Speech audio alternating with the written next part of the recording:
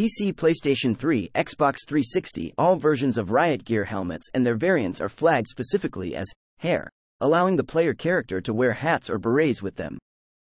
PlayStation 3, like both the Riot Gear and the Advanced Riot Gear, the Elite Riot Gear might get bugged into changing the color of the duster's shoulder part to red. PC, PlayStation 3, Xbox 360 when exiting a cave with lighting effects, like the highest entrance to the Camp Guardian cave. While the night vision effect is active, the game will blend both effects, making it nearly impossible to see anything. Exiting sneak mode and then moving to a different location or reloading will fix this. PC PlayStation 3 It's possible for the ragdoll body to activate, causing the body and the sniper rifle to move. This can cause the body to fall out of the shattered window and onto the ground below.